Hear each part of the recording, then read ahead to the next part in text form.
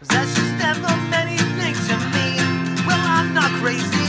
Well, that's you I got a bed, And if it's on it, dog that pisses on my floor. That's what I got a floor. So what? So what? Well, I've got pockets full of Kleenex and little holes. Well, everything that falls into me just seems to fall right down my leg. And I do the floor.